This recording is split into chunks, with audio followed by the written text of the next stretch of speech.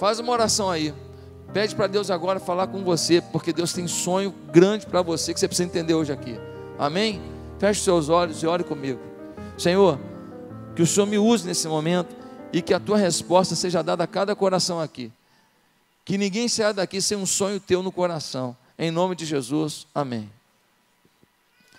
A vida de José é um exemplo a ser analisado, porque a vida de José nos ajuda a pensar nos sonhos de Deus para nossas vidas nos desejos que temos nas nossas vidas, nos anseios de coisas que precisamos nas nossas vidas. A Bíblia mostra o tempo inteiro pessoas sonhando. Você vê Abraão tendo uma visão, um sonho, você vê Daniel tendo visão e sonho, você vê Jacó tendo visão e sonho, você vê é, Ezequiel tendo visão e sonho, você vê Jeremias tendo visão e sonho, você vê Maria, mãe de Jesus, tendo visão de, sonho, você vê José, pai de Jesus, tendo visão e sonho, ou seja, se tem uma forma que Deus quer que você trabalhe na sua vida, é o campo dos sonhos. Não o sonho aquele que você dorme e todo dia tem um sonho. Não, um sonho que seja maior do que apenas o reflexo de todo o seu sistema de percepção que vai armazenando imagens, que vai armazenando sentimentos e transforma isso em sonhos e você sonha todas as noites. Lembre ou não, você sonha todas as noites. Querido, não é disso que eu estou falando. Eu estou falando dos sonhos que ficam. Eu estou falando dos sonhos que são projetos. Eu estou falando dos sonhos que são pensamentos, que são anseios reais, que são vontades lícitas, que são grandiosidades que se esperam. É desses sonhos que eu quero compartilhar. Afinal, em Efésios 3, versículo 20, nós lemos: Aquele que é capaz de fazer infinitamente mais do que tudo que pedimos ou pensamos, de acordo com o seu poder que atua em nós. Aquele que é capaz de fazer infinitamente mais. Deus não faz no nível do que você consegue pensar. Deus não faz no nível que você consegue ansiar. Deus não faz no nível que você consegue projetar, Ele consegue fazer infinitamente mais. Repete comigo: infinitamente mais. De novo, infinitamente mais. Esse é o sistema de governo de Deus. O sistema de governo de Deus é o governo do infinitamente mais. Por isso, hoje eu te proponho um título para essa mensagem. E o título é esse: Se teus sonhos são pequenos, ainda há sonhos a desvendar. Se teus sonhos são pequenos, ainda há sonhos a desvendar. Pastor, você está falando de sonho, sonho, sonho. O que é sonho? Afinal, o que é sonho? Sonho é uma condição, uma realização a ser executada, uma aspiração a se tornar realidade. O John Maxwell vai dizer: um sonho é um retrato inspirado do futuro que energiza suas mentes, suas vontades e suas emoções, empoderando você para fazer tudo que você pode atingir. A história de José nos ajuda a entender bem como se dá esse recebimento de sonhos e esse empoderamento de Deus para a gente realizar esses sonhos. Como é que é a história de José? Simples. Um pai tinha 12 filhos, o nome dele Jacó. Um filho foi filho da velhice e filho da mulher que ele amava, Raquel. Ele tinha duas esposas, mas essa é que ele amava. E esse filho, ele cuidou com todo carinho. Só que os irmãos perceberam que o pai gostava mais daquele, os irmãos não gostaram, começaram a ficar com raiva dele. E um dia, ele conta um sonho de que o feixe dele de trigo ficou de pé e os outros ficaram abaixados. Os irmãos dele ficaram com mais raiva ainda. Depois ele tem outro sonho. O sol, a lua e onze estrelas se curvam diante dele. Sol, o pai, lua, a mãe, onze estrelas, onze irmãos. Os irmãos ficam revoltados. Um dia ele vai no campo encontrar os irmãos, os irmãos com raiva dele, pensam em matá-lo, depois não matam, mas vendem para alguns mercadores midianitas que passavam. Os mercadores vão para o Egito, Chegam no Egito, no mercado de escravos, oferece o menino, dente está bom, ó, boa, pele está boa, menino forte, ó, está bem trabalhado. Quem compra ele é um homem chamado Potifar. Potifar era o líder do exército do Egito, um homem poderoso que tem uma fazenda. E ele co compra o menino chamado José. O menino José começa a se destacar, vira coordenador da fazenda, chefe da fazenda inteira. Ele chega com 17 anos e ele toma conta do pedaço. A mulher de Potifar se interessa por ele. Ele resiste. A mulher vai e acusa ele de tentar molestá-la. Potifar poderia matá-lo, mas não mata, que ele está com dúvidas se aquilo é verdade mesmo. Eu penso assim. Ele pega José e joga numa cadeia.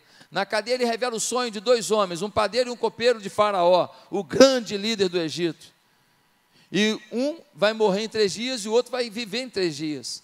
Isso acontece. O padeiro morre em três dias, o copeiro em três dias volta a servir ao rei. José faz um pedido: lembra-te de mim quando estiver diante de Faraó. Eu estou aqui injustamente nesse calabouço.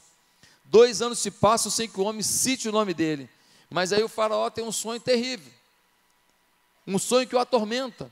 O sonho é de sete vacas gordas, sete vacas magras. Sete espigas gordas, sete espigas magras. Isso acontece o tempo inteiro. Sete gordas, sete magras. Ele não está entendendo, ninguém decifra aquilo. O copeiro fala: tem um moço hebreu lá na prisão que decifrou meu sonho e aconteceu. Se o senhor quiser, ele pode decifrar o seu sonho. Ele chama José. José tem agora 30 anos, 13 anos de escravo e de prisioneiro. 13 anos.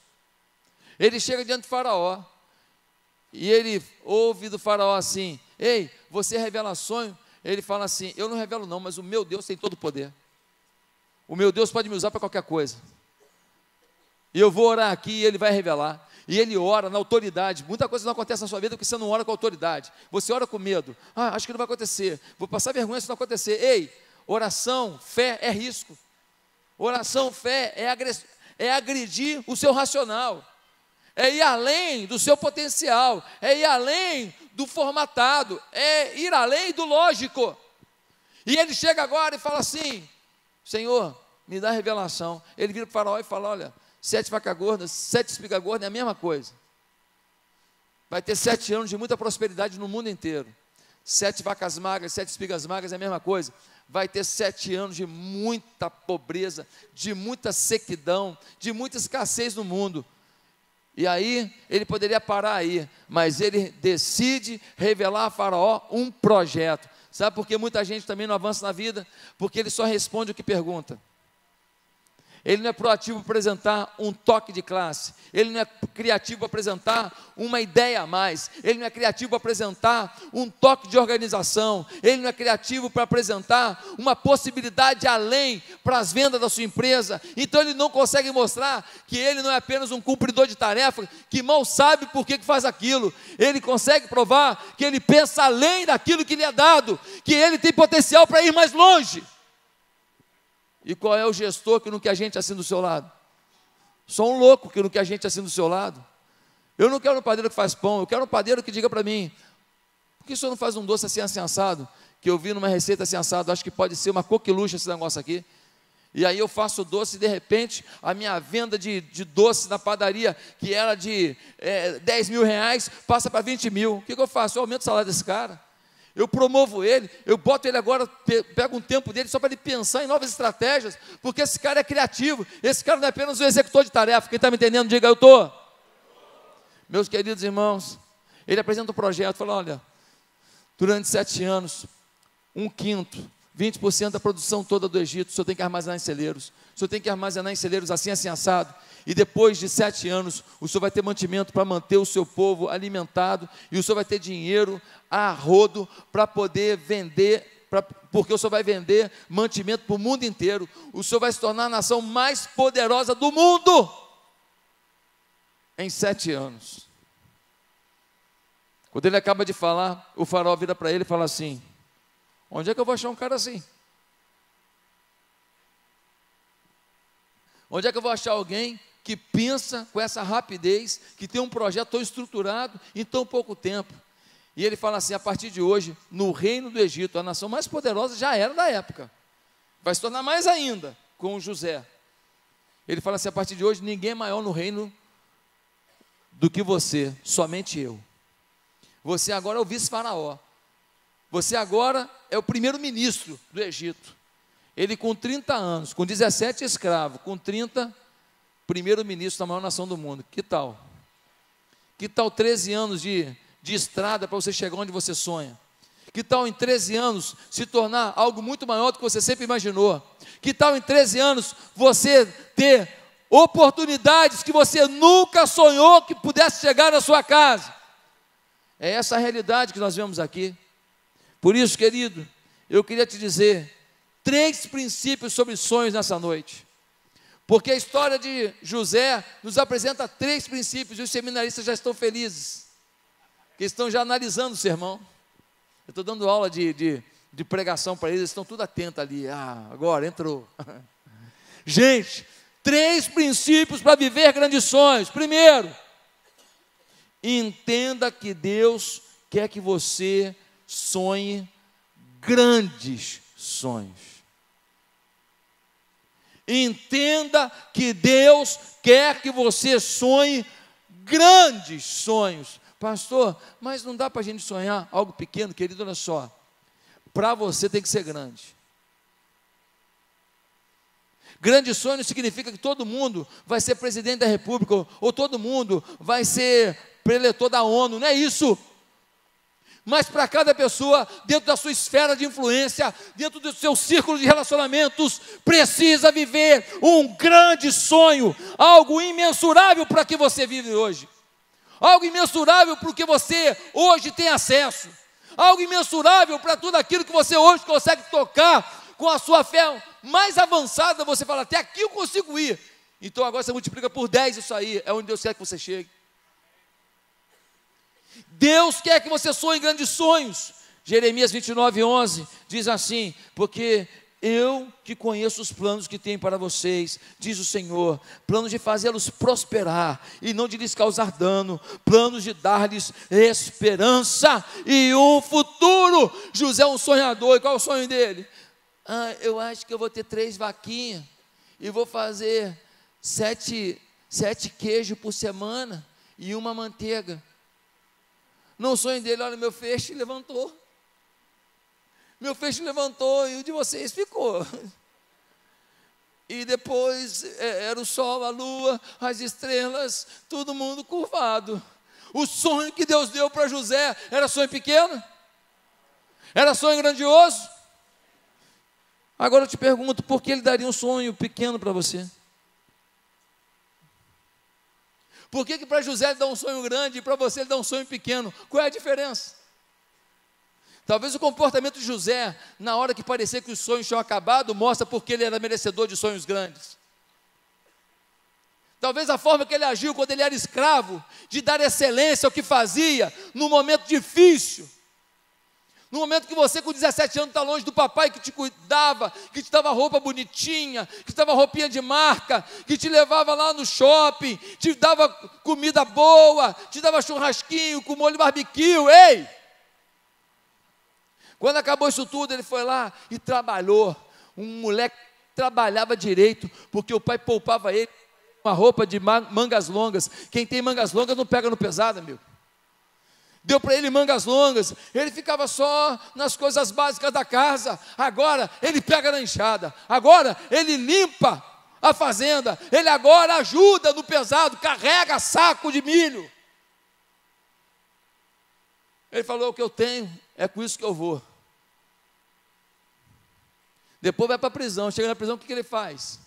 Ele vai para a prisão, chega na prisão, ele fala: já que eu vou ter que morar aqui, deixa eu arrumar esse negócio. Ô carcereiro, tem vassoura aí? Tem pano de chão não? Só tem um veja aí para dar um. Tem aí? Tem um, um inseticida para jogar aqui nesse bueiro cheio de barato? Como é que é? Já que eu estou aqui, eu vou dar o melhor. Em pouco tempo ele conquistou o carcereiro, se tornou o líder da prisão. José sabia lidar com suas perdas. José não se abatia, porque parecia que os sonhos que ele teve eram simplesmente devaneios de um moleque irresponsável. Ele acreditava que aqueles sonhos que Deus deu, Deus que se vire para cumprir, porque se Deus deu, Ele vai me ajudar a chegar lá. Cabe a mim estar preparado e viver da melhor maneira, da maneira mais inteligente no momento que eu vivo.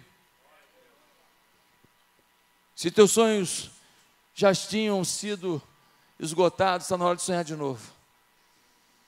Provérbios 13, 12 diz: A esperança que se retarda deixa o coração doente, mas o sonho satisfeito é árvore de vida. O sonho satisfeito. Quando você realiza um sonho, você é árvore de vida. Ah, queridos, quantos momentos difíceis eu tenho passado.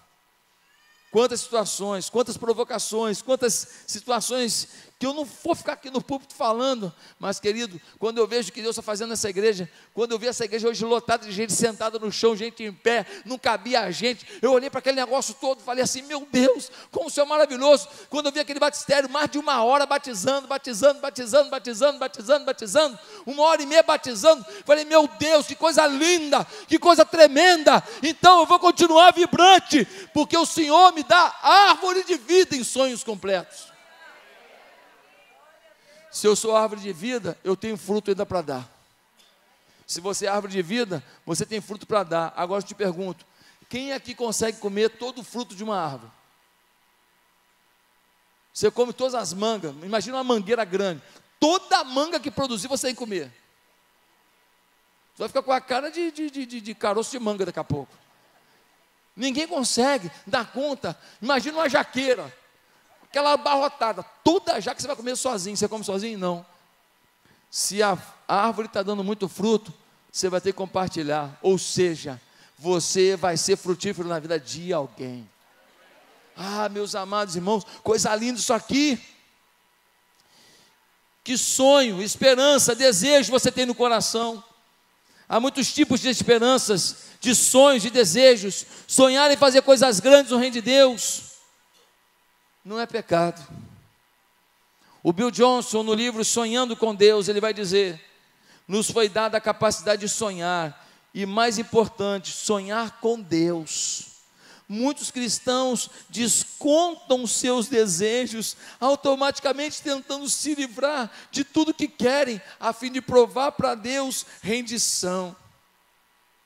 O Bill Jones está dizendo: ei, tem gente que abre mão dos sonhos, porque fala: não, não posso sonhar nada para mim, não, senão vai parecer que eu não estou rendido a Deus. Que bobagem. Quando Deus deixa você desejar alguma coisa para a sua família, alguma coisa para o seu bem-estar, isso não é pecado. Quando Deus te dá um sonho de você atingir um novo patamar na sua vida profissional, qual é o pecado nisso? Pare de colocar pecado onde não há. O problema não é você conquistar, o problema é o que você faz com a conquista. O problema não é você enriquecer, é o que o dinheiro faz no seu coração, na sua vida. Quantos empresários aqui que estão ricos já, que podem nos ajudar tanto na ação social da igreja, basta você abrir o seu coração. Ah, mas eu quero enriquecer mais, eu quero ter para três gerações. Pois é, Jesus volta nessa e você deixa tudo para trás. Jesus está à porta, meu irmão. Jesus está à porta, a iniquidade tomou o mundo. Nós vamos melhorar a nossa cidade, o nosso país, nós vamos como valentes, mas isso não representa 1% do que o mundo vive hoje de apostasia. Sonhe coisas para você, um negócio, sonhe com um marido legal. Ah, então vou trocar. Não, é esse aí mesmo, conserta ele. Sonhe com uma mulher bacana, legal. Ah, pastor, eu estava até de olho mesmo. Não, filho, é essa aí, ó, é essa aí. Você vai jogar um monte de, de, de amor, de carinho, de afeto, de ternura, de, de manicure, cabeleireira, roupa. É, é também, é. É viagem. É, é, é. Você vai investir. Você vai investir porque você quer sonhar lindo, gostoso, bonitão, maravilhoso com ela. Meus amados, ter desejo ou esperança para coisas boas, para seus relacionamentos, para sua família não é pecado. A questão é que toda vitória na tua vida pessoal precisa ser vitória do nome de Jesus precisa ser vitória do reino de Deus. Toda vitória no seu campo material precisa ser vitória do reino do Senhor. Toda sua vitória no seu campo profissional precisa ser glória dada ao Senhor de verdade, não de boca para fora. Primeiramente, quero agradecer a Deus. Agradece nada. A postura às vezes é: eu fiz. Deixa eu desfilar na empresa. Fui promovido. é promovido hoje, seis meses depois é mandado embora. A empresa é vendida para uma estrangeira, vai ter agora uma unidade de duas empresas, e aí vai ter que diminuir o corpo de trabalhadores para perder emprego. Assim, ó. Estou falando de casa real, tá? O cara foi promovido, seis meses depois estava demitido. A Bíblia diz no Salmo 37, 4: Deleite-se no Senhor, e Ele atenderá aos desejos do seu coração. Ei, o que está no seu coração? O que está no seu coração? O que seria bom para você hoje? O que seria legal para você hoje? Deleite-se deleite no Senhor. O que é se deleitar no Senhor? É se aconchegar no Senhor, é crer no Senhor, é confiar no Senhor, é adorar o Senhor, é declarar ao Senhor: Tu és o meu Pai. E Ele vai conceder os desejos do seu coração. Aonde você fracassou, aonde você perdeu, aonde você falou, Ei, eu tenho uma boa notícia para você. A Bíblia diz que aqueles que mais precisaram da mão de Deus são os mais gratos. Aqueles que foram perdoados de pecado mais brabo são os mais gratos. Aqueles que foram resgatados de um buraco mais profundo são os mais gratos. Então, se você teve perda, dificuldade, luta, ei, você vai ter mais gratidão. E a gratidão do homem é o início de uma grande e poderosa manifestação de Deus sobre o seu futuro. Às vezes, a gente tem que perder alguma coisa para quando Deus nos ajuda a restaurar, a gente já desenvolveu o espírito de gratidão. E aí, se a gente ia chegar nesse patamar no ritmo que a gente estava, e a gente foi lá embaixo, agora a gente vem, passa do nível que a gente estava, passa do nível que a gente ia chegar e vai além, porque o que importa é o fim da sua história. Em segundo lugar, eu quero te afirmar uma segunda coisa, um segundo princípio, importantíssimo para viver os grandes sonhos de Deus. E o princípio é: só sonha coisas, coisas grandiosas com Deus quem entende o grandioso amor de Deus. Só sonha coisas grandiosas com Deus quem entende o grandioso amor de Deus. José era o mais amado dos seus irmãos. Não é bom um pai amar mais um filho do que o outro. Não é bom um pai privilegiar um filho que o outro. Em relação ao outro. Não é bom isso, não. Mas José, de alguma maneira, recebia um afeto especial. E quando eu leio esse texto, eu falo, Senhor, qual é o princípio aqui? Porque isso é um erro de Jacó, de amar mais a José. E o princípio que veio ao meu coração é: Jacó não consegue amar de forma extraordinária cada filho. Mas o Pai Eterno consegue. O Pai Eterno consegue amar a você de forma extravagante e pessoal. Ele conhece suas dores que o seu pai humano não conhece. Ele conhece as suas fraquezas que o seu pai humano não conhece. Ele conhece os seus temores que o seu pai humano não conhece. Ele conhece suas, seus traumas que o seu pai humano não conhece. Ele conhece os seus sonhos que o seu pai humano não conhece. Ele conhece as ameaças que você passou que o seu pai humano não conhece. Ele conhece suas decepções sentimentais que o seu pai humano não conhece. Ele conhece tudo. Ele consegue olhar você como um todo e te amar de forma muito intrínseca, muito pessoal, muito estratégica, muito detalhada. É como que um quebra-cabeça, que aquela pecinha, às vezes você fala assim: ah, é aqui. Você bota e fica uma beiradinha de lado. Ou então ela encaixa, mas fica um buraquinho ali. Ela não é perfeita. Deus não. Ele consegue olhar para você e amar você num encaixe perfeito com a sua necessidade. O pai José o amava de forma diferenciada. Deus te ama de forma diferenciada. A dificuldade que alguns têm é que não conseguem se perceber como filhos muito amados por Deus. O que, que você olha na sua vida e você fala assim: Isso foi um milagre de Deus na minha vida? Eu já contei aqui. Eu nasci no domingo de Páscoa. Enquanto eu nasci, meu pai pregava. Meu pai foi me ver no dia seguinte. Naquela época não tinha celular, não, meu irmão, nem WhatsApp. E telefone na casa de pastor, coisa raríssima. Minha mãe não conseguia nem falar com meu pai. Foi para o hospital, eu nasci.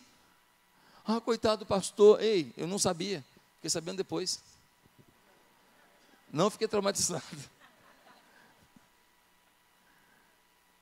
No domingo de Páscoa, nasceu Josué Valão de Oliveira Júnior. Meu pai pregava enquanto eu nascia. Eu transformei isso numa expressão do amor de Deus por mim. Eu transformei isso numa expressão de profecia de Deus sobre a minha vida. E não adianta você falar que foi coincidência, que eu quero que se dane a sua opinião. Não vem estragar meu sonho. Eu não estou estragando o seu. Ei, não deixa ninguém estragar teu sonho, não. Eu transformei em profético na minha vida aquilo que o Espírito falou para mim. Agora você pega o que Deus já fez na sua vida, transforma em profético, você vai ver até onde você vai. Agora, se você, ah, é coincidência, ah, é por acaso, ah, é, eu acho que foi sorte, foi sorte. Nada que Deus fez de cuidado, de zelo, preparando o seu futuro, você consegue enxergar como o cuidado e o amor profundo dele. Por isso que você não vai além às vezes. Porque você só vê a hora que você entra na furada. Você só vê a hora que era macarrão com salsicha na escola e faltou a salsicha.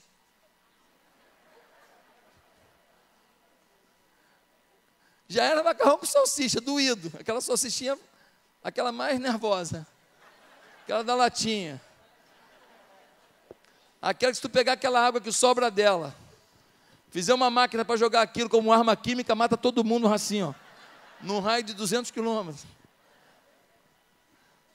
Então, querido, se você não perceber a mão do Eterno conduzindo a sua história, preparando o seu caminho de vitória, e você não se olhar como um filho muito amado, como sonhar grandiosamente se você não sente um amor grandioso? Pastor, você fala isso porque Deus botou a mão na sua vida, Deus te abençoou. Ei, Deus não botou a mão na minha vida ontem aqui, quando a igreja tinha 10 mil membros. Deus não botou a mão na minha vida quando você veio para cá para ser família comigo aqui e me dar essa alegria. Deus botou a mão na minha vida lá atrás. Quando eu estava passando dificuldade, quando eu fui para Ipatinga pastorear uma igreja no interior, quando eu tive que lidar com outra cultura. Deus botou a mão na minha vida quando eu vim para cá com uma igreja que se reunia numa escola municipal imunda, com menos de 30 pessoas. Se você não vê o amor grandioso de Deus na sua vida, no meio das suas dificuldades, você não vai chegar nas grandiosidades. Talvez seja esse tempo de dificuldade na sua vida a melhor oportunidade de você perceber a grandeza de Deus e começar a adorar a Deus e começar a empreender com Deus. Falar, Deus, eu não me submeto a isso, porque eu sou um filho amado, eu sou um filho querido, e esse momento que eu estou vivendo é alguma experiência, é algum preparo, é alguma oportunidade. Quantos irmãos aqui, empresários, que montaram alguma coisa, por quê? Porque você estava sem emprego, aí alguém falou assim: pô, vem trabalhar comigo aqui nisso aqui. Você aprendeu um negócio, você foi e montou uma empresinha, hoje você é um baita empresário naquela área. Quantos aqui? Um monte. Eu pergunto toda hora, quando eu vejo um empresário bem sucedido, eu pergunto assim, cara, como é que você parou nesse negócio? Um é reciclagem de papel, o outro é conserto de máquina de não sei o que, eu nem sabia que essa máquina existia. O outro é especializado em, em, em vinda de uma ruelazinha para elevador que, que ele importa não sei da onde. Falei, cara, como é que você descobriu que existe essa ruelazinha de elevador que vem de tal lugar? Ah, não, é porque eu trabalhei numa empresa e ela mandou comprar isso. Aí eu descobri isso aí e tal. Aí depois eu tive uma ideia de montar. Aí montei e tal. E estou aí, pastor, ganhando meus milhõeszinhos. Falei, lembra-te de mim quando entrares no teu reino.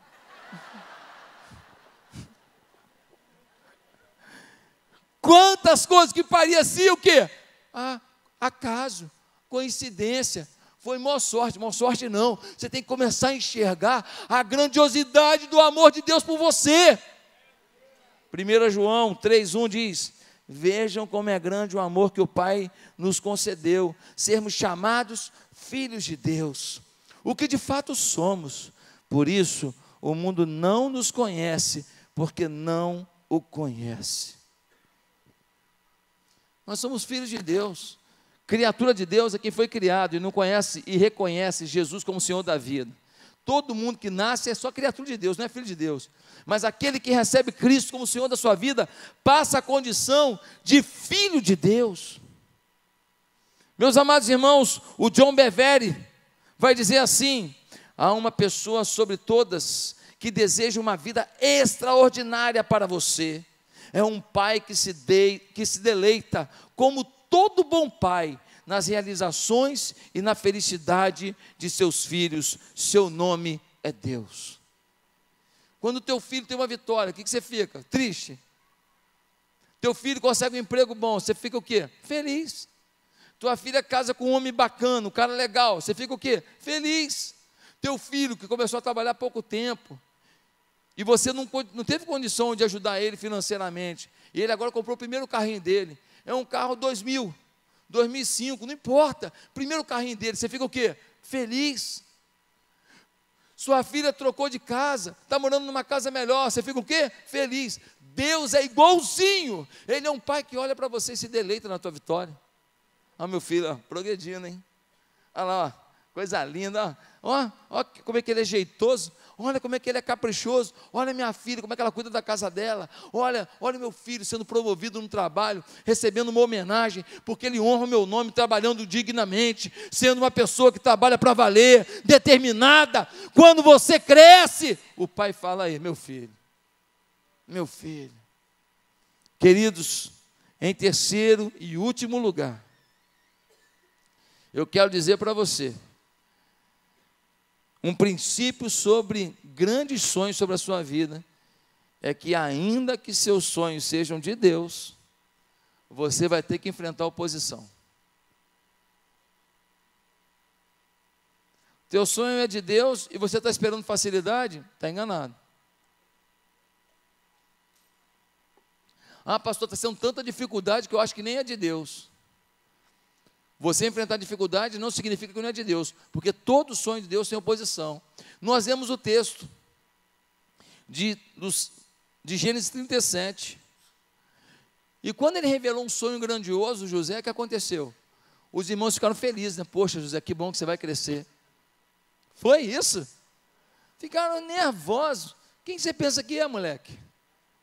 Ah, moleque, se papai não estivesse aqui agora, eu ia te pegar e te arrebentar. Tu é um moleque metido, marrento.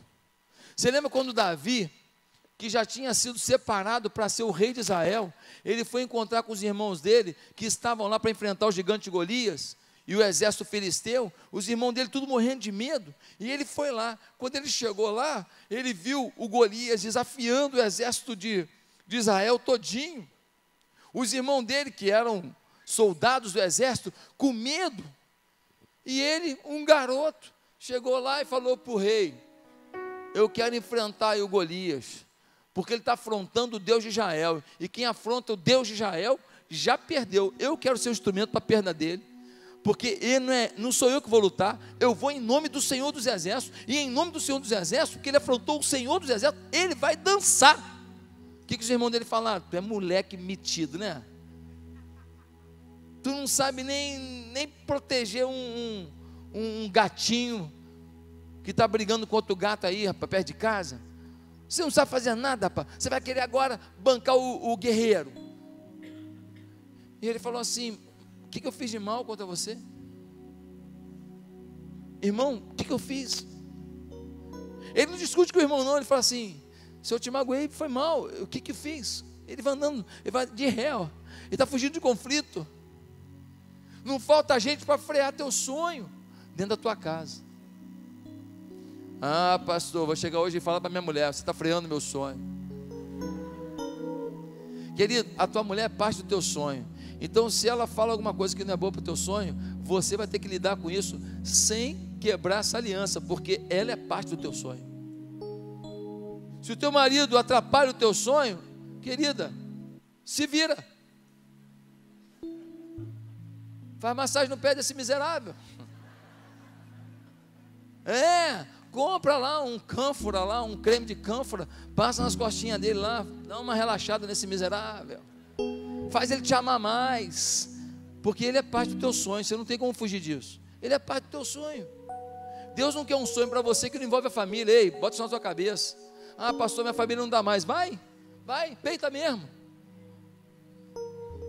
Está se achando melhor que a sua família, porque você conquistou, ganhou dinheiro, está andando agora numa, num carro de 300 mil reais? Cuidado, hein? Aquele que se exalta será? E aquele que se humilha será? Eu estou chamando aqui gente para pensar grandioso, mas com coração humilde. Eu estou chamando aqui gente para pensar em coisas que vão além do céu, porque o seu coração já está no céu. Eu estou aqui chamando você para viver coisas exponenciais. Porque você está disposto a um sacrifício exponencial. Meus amados, José foi odiado pelos seus irmãos, repreendido pelo seu pai. Sonhadores precisam superar oposições para realizar seus sonhos. Quando nós instalamos a igreja aqui, meu Deus, eu vivi o inferno. Era uma reclamação. Muitos da vizinhança não entenderam a igreja chegar. Eu estava pregando aqui e as coisas acontecendo. Eu vinha pregar tenso às vezes. Quantas oposições nós tivemos que viver. Você sabia que o jogador de basquete, o Michael Jordan, o maior jogador de basquete da história, você sabia que ele foi colocado para fora do time do high school, lá do do primeiro grau, né? High school. Hã? Segundo grau, né? Segundo grau, isso aí. Ele foi colocado para fora do time, do segundo grau. Aí sabe o que ele falou? Ele diz: Eu jogo para ganhar. O dia onde eu parar de melhorar é o dia que eu saio do jogo. E aí ele tomou uma postura: Eu vou fazer 300 cestas por dia, 300 arremessos por dia. 300 arremessos por dia. Eu tive o privilégio de ir num jogo do Michael Jordan. Assustador. Pegava a bola com a mão assim, ó. Dava uma balançada, matava o time inteiro e enterrava. Um fenômeno. Um fenômeno. Ninguém sabe que um dia ele foi reprovado. Winston Churchill repetiu a sexta série. Sabe quando que ele se tornou primeiro-ministro da Inglaterra? Aos 62 anos. E aí ele pega a liderança da Inglaterra em plena Segunda Guerra Mundial. E o camarada se tornou um estadista que movia a sua nação em direção à vitória no meio daquela crise, bomba para lá, bomba para cá, ameaça para cá, ameaça para lá. O camarada tinha palavras que o povo inteiro acreditava e seguia a sua orientação. Thomas Edison inventou a lâmpada, inventou um monte de coisa, acho que mais de mil coisas ele inventou. E aí foram perguntar para ele sobre os dois mil experiências que ele fez até chegar na lâmpada.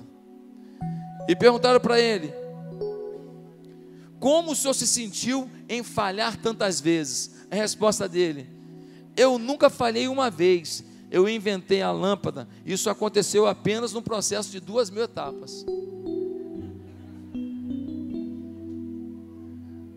O seu fracasso de hoje não é fracasso, é uma etapa vencida por seu sucesso. É uma etapa superada. Alguma lição fica, algum aprendizado fica, alguma situação fica para que você chegue lá. Qual é o final da história de José? Ele sai da masmorra de um prisioneiro, sem tempo determinado de prisão, sem direito a habeas corpus no Supremo Tribunal Federal todo dia. Ele sai dali para ser o governador de todo o Egito. Ei, querido, eu não sei se você está numa prisão hoje. Eu não sei se você é escravo de alguma coisa hoje, escravo de um, de um empregador, escravo de uma situação financeira, escravo de uma dívida, escravo de um vício. Eu não sei qual é a sua condição. Eu não sei se você talvez seja um talento, mas você não sabe transformar esse talento em recurso financeiro. Eu não sei se você é um talento e tem dinheiro, mas você nas coisas de Deus, você hoje é um zero à esquerda. Você não se dedica à célula, você não cuida das pessoas, você é um discipulador que abandona o seu discípulo, você não está cuidando de ninguém para valer, você não está vivendo o ministério pastoral que todo mundo nessa igreja é chamado a viver. Todo mundo aqui pode discipular alguém e pode liderar alguma coisa, todo mundo pode. Eu queria te perguntar hoje: qual é o tamanho do teu sonho? O teu sonho é sonho de Deus ou é teu? Eu queria fazer um teste do sonho com base no livro do John Maxwell. Vamos nessa? Dez perguntas. Teste da posse. É seu sonho realmente? Ou é sonho de alguém? Seja isso, faça isso. Segunda pergunta. A pergunta da claridade. Responda: Eu claramente vejo meu sonho? Talvez você tenha que detalhar, escrever detalhadamente esse sonho para saber se você está entendendo o que é o seu sonho. Terceira pergunta, pergunta da realidade: Estou eu dependendo de fatores em meu controle para conseguir meu sonho? Ou o meu sonho depende de um monte de gente, um monte de resultado positivo ou negativo, que nem alguns times que não querem para a segunda divisão por causa dos resultados de outros times. Outros times tiveram que vencer para você não cair. Você não dependia de si mesmo. O seu sucesso depende de alguém ou você está sob controle dos fatores para o seu sucesso? Baseie-se no que você faz em sua força e em outros fatores dentro de seu controle. Quarta pergunta, a pergunta da paixão. Meu sonho compele-me a segui-lo? Estou apaixonado por esse sonho? Quinta pergunta, a pergunta do projeto. Eu tenho uma estratégia para alcançar meu sonho? A diferença real entre o sonho e desejos pensados é o que você faz no dia a dia. Tem gente que quer montar uma empresa, ganha pouco, mas não junta nada. Como é que vai montar a empresa um dia se não junta nada? Tem gente que quer montar alguma coisa, mas decidiu morar num condomínio aqui da Barra que tem um padrão muito alto, que se você morasse num lugar um pouco mais baixo, um pouco mais barato, você economizaria mil reais por mês. Ao final de 12 meses, 12 mil seria o início desse projeto seu. Ah, mas eu não ando para trás. Como aí, andar para trás? Como você está andando para frente? Você está planejando um sonho.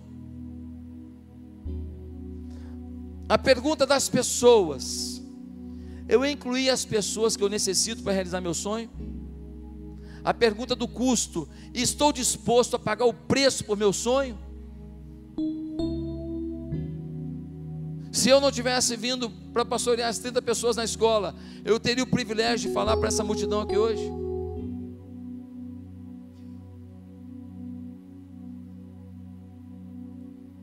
Não faça sua história pelo momento de vitória dos outros.